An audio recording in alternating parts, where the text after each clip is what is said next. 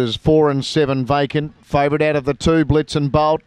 They're off. Gee, Blitz and Bolt one of the last out. Uh, Melzar and Bellatrix won the start. They go together early. Then Jimmy McBain, Blitz and Bolt's pushing through. It's got some work to do though. Then Ready to Mingle and Beckham Vapor running up the back and Demelzar led Bellatrix. Blitz and Bolt getting underneath it. Closing now on the leader. Then Beckham Vapor, Jimmy McBain. Last Ready to Mingle. On the bend, it's still Demelzar from Blitz and Bolt. It's Demelzar. Blitz and Bolt takes it now though. Blitz and Bolt, that's a good win. Beats Demelzar, Beckham Vapor third, then Bellatrix, Jimmy Vapor, and back at the tail was Ready to Mingle.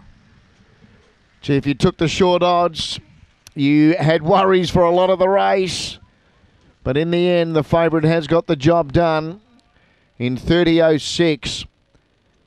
Number two, Blitz and Bolt by Cosmic Rumble out of Moonshine Sally. Terry Carlin trains for D. Peckham and C. Miller. And uh, it's been able to score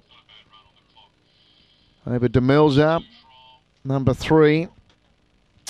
Number three, Demelzar by Barcia Bale out of Midnight Czar for Kevin Murnane. And eight third, Beckham Vapor by Beckham Bale out of Swift Blaze for Kelvin Douglas.